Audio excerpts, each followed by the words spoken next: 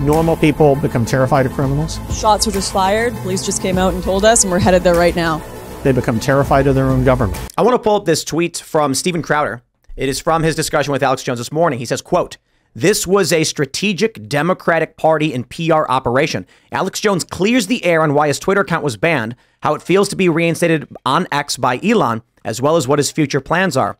So let me uh, let's play this clip that so, so we can hear it straight from uh, Crowder's show. Because of something to do with Sandy Hook, and um, a lot of people think that you were banned from Twitter because of something to do with Sandy Hook, and Elon clarified that the reason you were banned from Twitter had to do with that sniveling worm Oliver Darcy, nothing to do with Sandy Hook.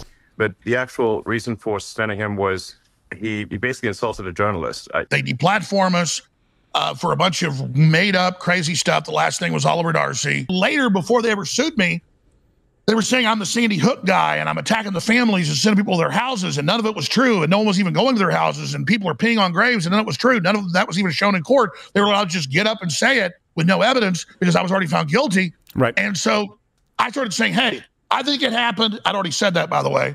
I, I did an apology tour on Joe Rogan and Patrick Bet-David before I even got sued and said, hey, here I am years ago saying I think it happened. And they said, oh, now you admit you lied and did it for money. This was strategic Democratic Party PR firm operation. Um, a lot of people think that. I, uh, I I think so. I think we know for a fact that right now, as we're entering 2024, I mean, so this was back in 2018. Entering 2024, we have. I'm not going to name the groups, and you guys can if you want to. They're these uh, uh, Democrat PR, Democrat, uh, uh, uh, nonprofit, 501c4 type organizations. All they do is launch lawsuits in order to win elections. If you think the 2024 election is simply how many people can go and cast their ballot, you're wrong. A whole lot of it is going to be procedural fights, it's going to be court battles. And I think a big component of why not just Alex Jones, because it, it, it was a coordinated move that got him banned. Like we, we can see him wiped from every platform instantly. But there were many other people. Paul Joseph Watson got banned from Instagram. And what did he have? He had pictures of him like smoking a cigarette by the sunset, just like ridiculous things. Like, what are you banning him for? It is political. Moving into 2024, I would not be surprised if we see a ton of moves like this. That being said, with Elon Musk owning X, it's going the other direction. We're starting to win this one. Especially with other institutions like Rumble out there. Now, uh, uh, Rumble also has a very interesting lawsuit against uh, some of these, you, you, call them democratic organizations. I call them more uh, government intel connected organizations that are also financed with uh, billionaires, individuals' names uh, like George Soros, who, of course, do play a major role in our political discourse. So when you see the kind of coordinated attacks that happened a couple years ago, it, it wasn't social media. It was uh, government officials. We found that out through the Twitter files. We found that out through all the disclosures. We found out that U.S. government officials, FBI officials, intel officials were saying, hey, we don't like what these people are saying. Shut down these individual voices. They're talking about this kind of news reporting that we don't like. Shut them down immediately. And they did your tax dollars essentially financed a lot of this. And I really hope that these new lawsuits uh, really shed a light and we have a lot of discovery, specifically when it comes to the larger involvement of outside forces, not just democratic organizations that are playing a major role here. Well, you mentioned Soros, and I think that's actually really a crucial part to all of this because for so long, the way that they got you to not ask questions or file lawsuits was uh, they kind of associated insulting Soros, criticizing Soros with you being anti-Semitic or you know calling you names, throwing labels at you, and that was actually quite effective for a few years there. I would say between uh, Trump running in 2015 to about 2019, that was pretty effective to throw certain labels at you. Then I think uh, Americans started to wake up by and large. People who weren't even political by nature, they started to realize, okay, these labels don't actually mean anything because my next door neighbor is being called a racist for having a Gadsden flag or something like that. They started to realize these labels didn't mean anything. Then they started actually investigating it, uh, who Soros really is. I think more Americans are aware of these strategies that the left have has used for so long, or just the you know the uniparty at large to silence us. This idea that you can't question anything.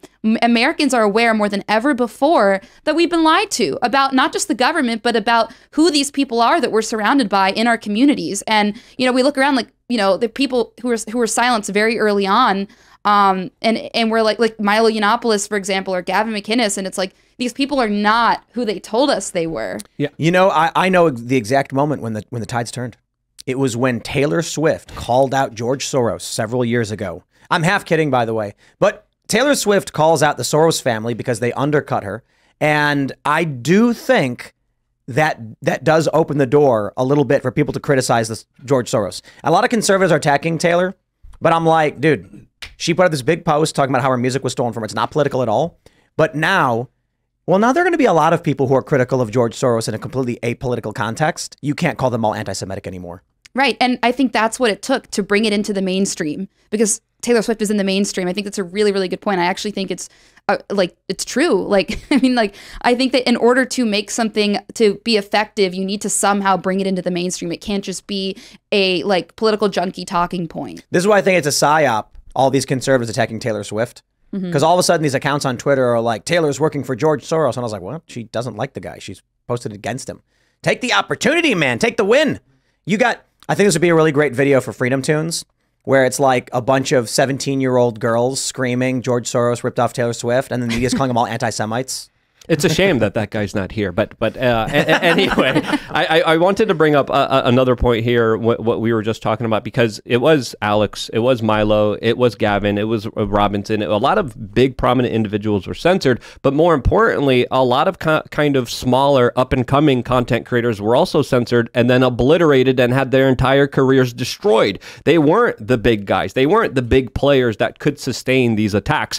And I, I, I think truly the biggest damage that happened was on all the people that are coming up that were going to have an impact now, that were going to be prominent, that were going to be big, but had no chance because the algorithm screwed them over, destroyed them, demonetized them, and hurt our kind of discourse more than we could even imagine. Parler would be Twitter right now. Exactly. Mm-hmm. I That's think crazy. It, I, I, it's like the wargaming. I mean, if we're really concerned with a war with Russia, we have to look at this as common sense, realistic as possible. That these centralized services are vulnerabilities. Like if if Elon holds Twitter on a central service, Verizon can shut them down.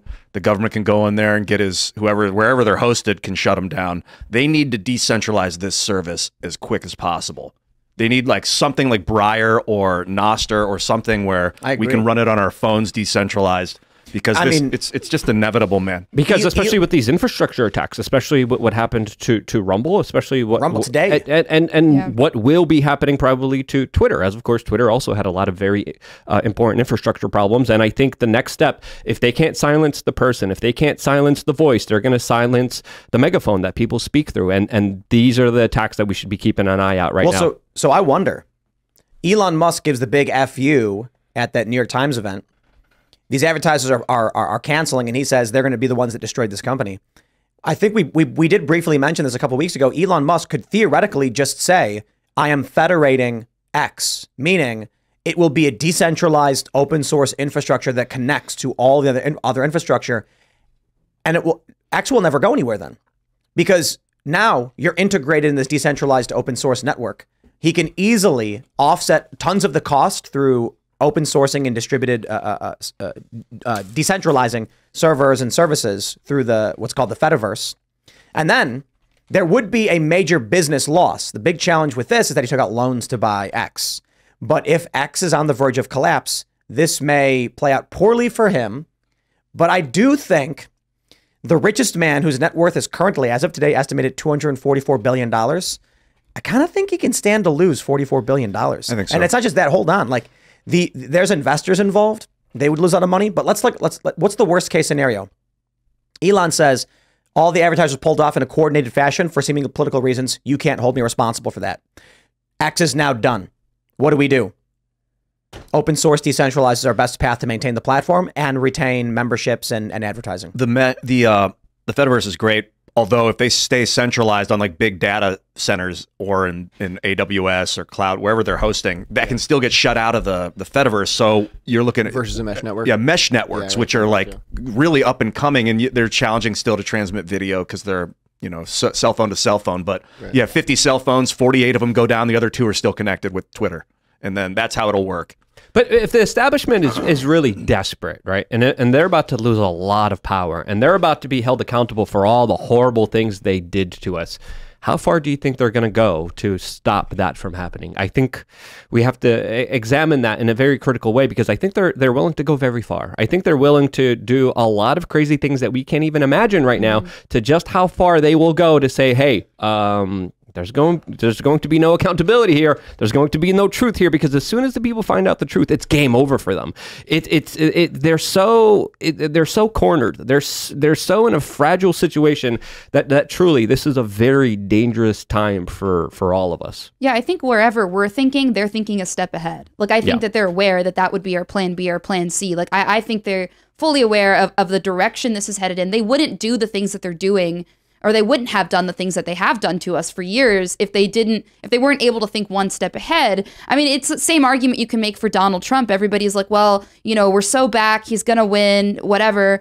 But I mean, it's we're talking about the deep state here. There's just no, there, there- there's nothing that's too far for them. I disagree seems. completely. I like the Titanic can crash into an iceberg. You know, you you can you can There's a lot of conspiracies about that too. Sure, but I'm using it as an analogy. I'm not making it uh, literal. It, you can build the biggest ship, you can design it to to rip through ice, and then you come across bedrock and be like, "We did not expect that to happen. We calculated." And then boom, we tore the hole and now we're sinking. It's possible, sure, they can see far ahead and they may be thinking abandon ship.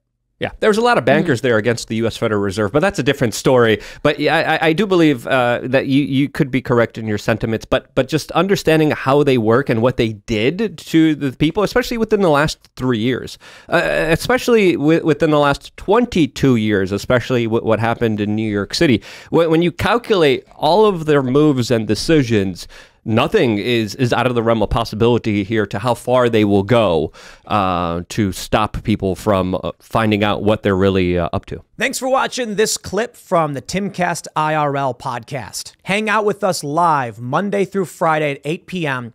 and become a member over at timcast.com for uncensored, members only shows exclusive. Thanks for hanging out, and we'll see you all next time.